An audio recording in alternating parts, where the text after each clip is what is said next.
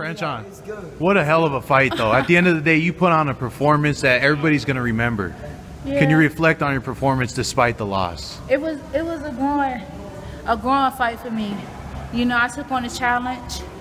Um, I held my own. Everybody saying I'm fighting a heavyweight. At times I could feel the little difference, but I was hurting her too. I don't think it was that far of a margin, but I'm just grateful. I'm a girl who started from the grassroots and became a world champion and got to fight on some big stages. So I just will try to work my way back. Definitely. What a performance. You showed a lot of heart, and a lot of people feel that you won. Do you think that the fact that it was in San Antonio with a, a large Hispanic crowd that kind of gave her the edge? I mean, I've never, I just got like a, a promoter to support me. She's been groomed since the beginning of her career in, in Mexico. I mean, her promoter got a lot of juice. It is what it is.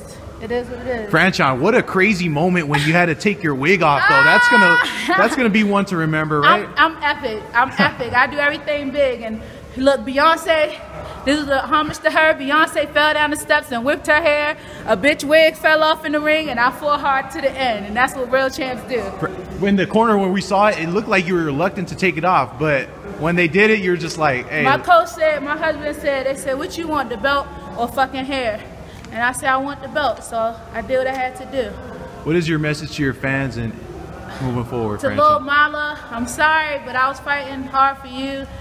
And I'm just grateful for the fans who support me before and after. And this is what women's boxing is.